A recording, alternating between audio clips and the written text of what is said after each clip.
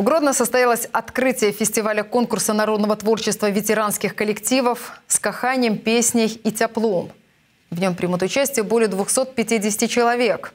Два дня на сцене концертного зала будут выступать ансамбли, хоровые и вокальные коллективы, чтецы и солисты. Пять лучших из них отправятся 18 и 19 марта в Ивье и Волковыск чтобы выступить на областном этапе фестиваля ветеранских коллективов «Не стареют душой ветераны». Этот конкурс стал первым мероприятием для новоизбранного председателя Гродненского городского совета ветеранов. Им стал Александр Родионов.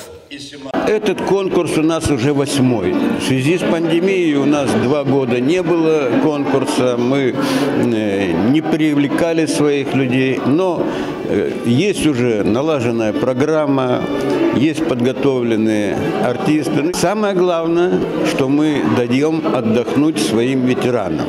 Мы даем показать свои таланты. Среди выступающих есть и звездные участники. Две гродненки попробовали себя в популярном шоу X-Factor 60+. Одна из них дошла до полуфинала. Они еще проводят большую работу по патриотическому воспитанию подрастающего поколения, потому что в репертуарах песни военных лет. Э, они рассказывают о своем жизненном опыте, поют, выступая вот в э, учебных заведениях, в вузах, в воинских частях, в госпитале военном, в учреждениях. Э, наши коллективы востребованы.